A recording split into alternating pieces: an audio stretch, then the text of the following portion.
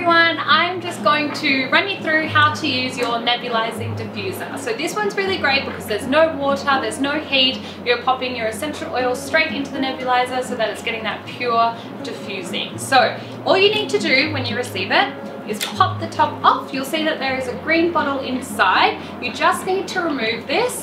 Whether you keep this is completely up to you. You can create your own blends in there to use in your nebulizing diffuser, completely up to you. So you just remove this one completely. All you need to do then is take your essential oil that you're using, pop the dripper cap off.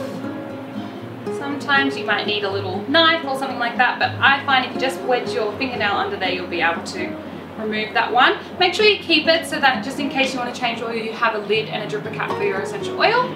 Place it straight on there, screwing it in. Make sure it's not too tight as well, otherwise it will be hard to take off. Then you just need to place your diffuser back in and turn it on. So this has a continuous run for two hours, but then it will automatically shut off and it also has a 10 second run time and a 50 second off time. So it's that intermittent setting as well. Now when you're cleaning your nebulizing diffuser, all you need to do is take this one out, or if you're changing in between oils, take your bottle off.